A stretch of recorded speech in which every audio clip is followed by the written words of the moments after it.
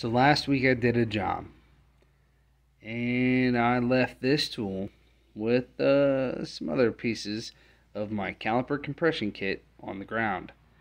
And it rained and it flooded in my garage. And if you let this go, it is going to corrode and be just no good over amount of time.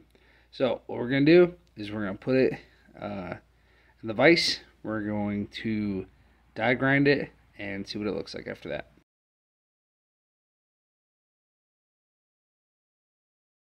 Okay, so this is what it looks like after a quick uh, die grinding with the brass wire wheel. Um, I have some uh, spill stuff, and I'm just going to put this right here on this T-stand. I'm going to hit it with some Rust-Oleum Rust Reformer. Um, we'll see how it looks. Alright, well, good morning, guys. What do we learn with this?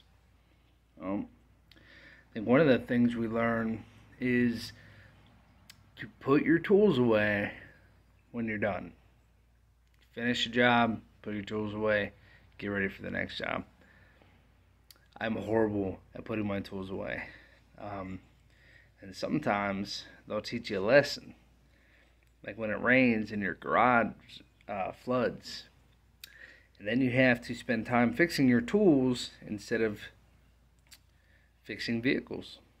So put your tools away. Uh, second lesson is just because something's rusty, it doesn't mean you can't turn it into something really nice.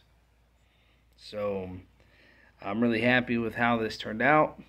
Um, that rust reformer is pretty awesome. Uh, make sure get yourself a small die grinder. Um, it, I have a pancake uh, air compressor running my die grinder, so it's really not a whole lot.